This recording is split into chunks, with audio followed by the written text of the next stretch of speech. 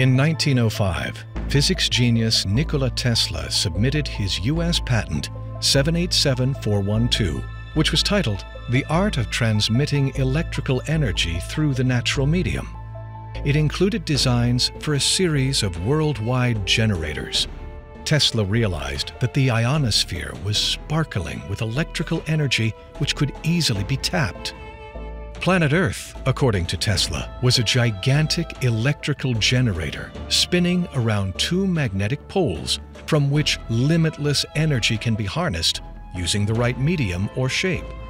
His device was later referred to as Tesla's electromagnetic pyramid, based on his design looking like a triangle shape. Tesla tapping into the, actual shape of the pyramid, I believe, was something that that just came roundabout through his investigation into the location of the pyramids. Because what appears to have happened is that he realized that it wasn't the actual shape of the pyramid so much, although pyramids uh, exhibit uh, fractal energy much more efficiently than other types of designs. But what he discovered was it was the location of the pyramids that created the power.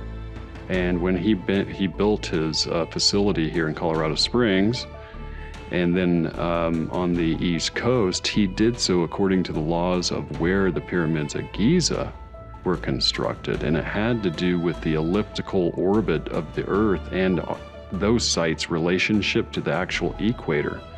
That there was a natural construction somehow taking place between those very specific sites and the overall energy field of the Earth.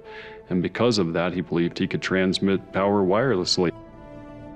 Tesla's discovery and device disappeared after his mysterious death in 1943. But what he was trying to tap into might have just scratched the surface of understanding the power of something much more ancient. According to Nikola Tesla, 369 is a key to the universe. Tesla became so obsessed with this 369 that he would drive around a building three times before going inside of it. He cleaned his plates with 18 napkins, lived in hotel rooms only with the number divisible by three, he made calculations about things in their immediate environment just to make sure the result was conceivable by three. And he based his choices on the results. He did everything in sets of three. What is Nikola Tesla trying to make us understand? We must understand that we did not create mathematics. We discovered them. It is the universal language and law. No matter where in the universe you are, 1 plus 2 will always equal 3. Everything in the universe obeys this law. These forms are in nature, but the ancients emulated these forms in construction. If Nikola Tesla's obsession was with these numbers, and his goal was to define his location and time in space, could it be possible that ancient humans created monuments like the Great Pyramids to remind us of these truths?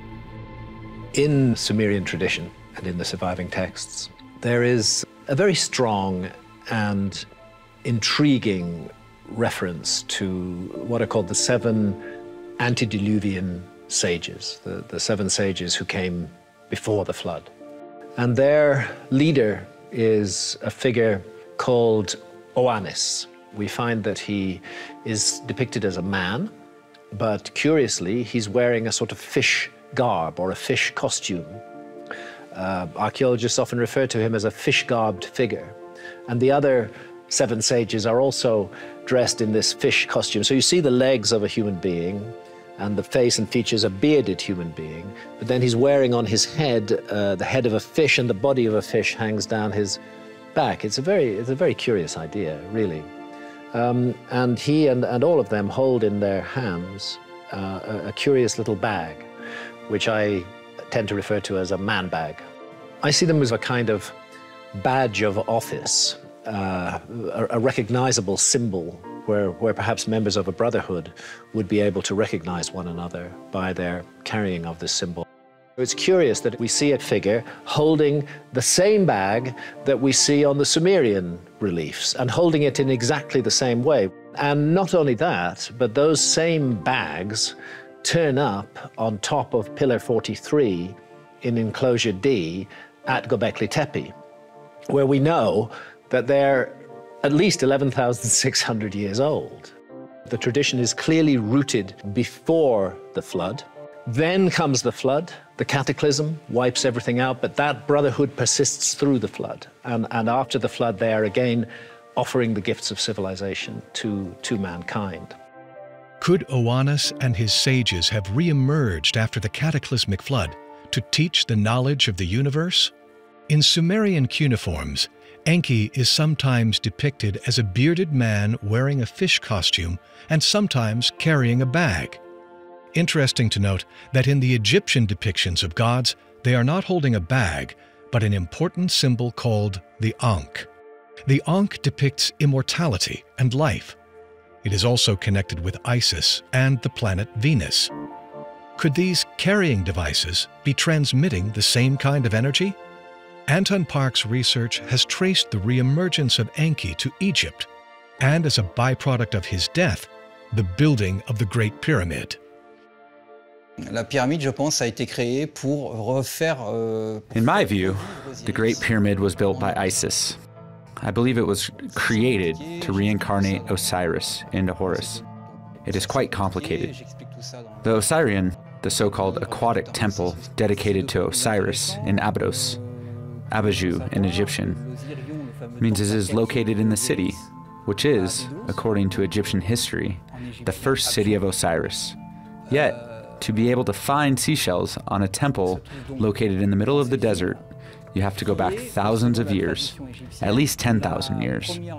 Why would he have made such a temple with aquatic features? Because Osiris, who's also Enki, they are the same person, had amphibian genes.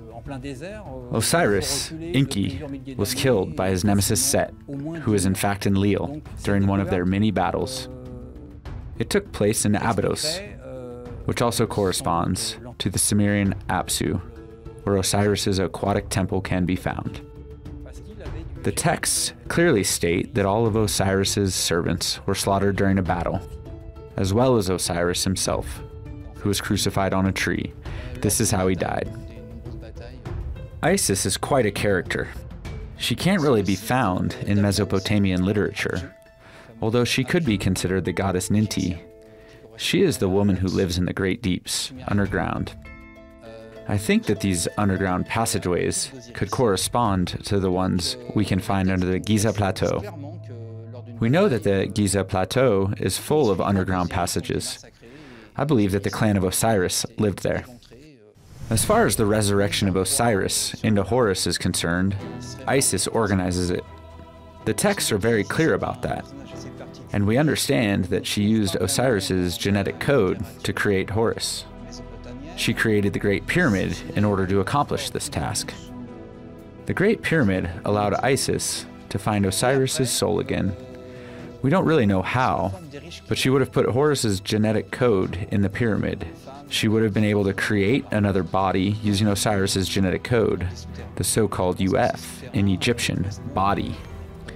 And thanks to the coding of the Great Pyramid, she reached Osiris's soul so it could come into the new body of Horus. Although the dating of the Great Pyramid has been argued by different scientists, there is evidence that below the monument, something existed there that was much older. When we look at the Great Pyramid, the Second Pyramid, and Third Pyramid, there's no doubt in my mind that they were being reused, should we say, partially reconstructed, built upon during dynastic times, just like the Sphinx itself was being repaired during dynastic times.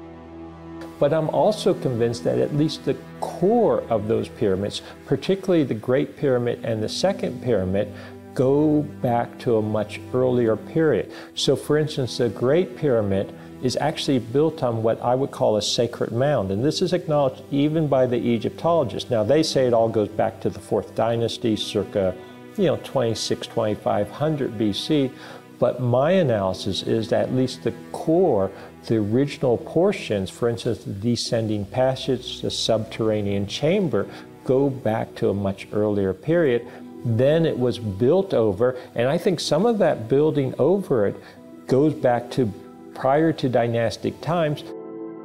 Could this be proof of the clan of Osiris and their knowledge? And could this group have harnessed the powers of the universe to bring back a god? Some experts point to the fact that the Great Pyramid itself has always been connected with the afterlife.